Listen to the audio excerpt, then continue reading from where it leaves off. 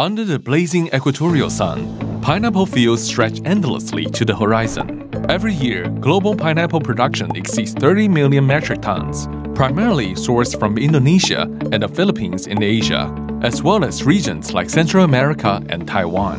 What many may not know is that the amount of leaves and stems discarded is 1.4 times greater than the fruit itself.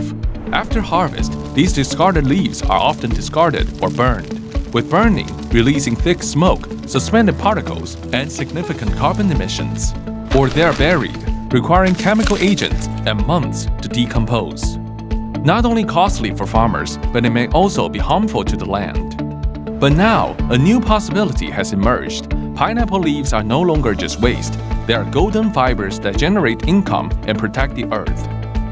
Through automated fiber extraction technology, farmers not only harvest fruit, but also carefully collect every valuable leaf, transforming them into PALF, pineapple leaves fiber. P.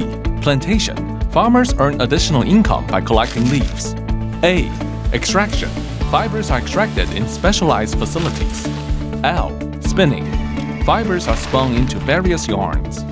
F. Final products transforming agricultural waste into everyday household items. During the pineapple leaf fiber extraction process, the material is separated into two parts, fiber and pulp. Fibers can be blended with cotton, linen, or recycled fibers to produce knitwear, denim, and leather alternatives, widely used in bags, apparel, footwear, and home decor. Pulp can be made into paper product, PU synthetic leather, eco-friendly pellets, or converted into biochar to improve soil and capture carbon, creating a complete circular economy. PALF naturally has antibacterial and breathable properties, with a 99% inhibition rate against various bacteria and over 90% deodorizing effect. Its hand feel is dry and comfortable as linen, while promoting rural employment and income growth. Certified with ISO 14067 carbon footprint by BSI. Each kilogram emits only 0.784 kilogram CO2e, just one-tenth of linen and half of cotton. Products are fully traceable, allowing consumers to know their origins and the stories behind them.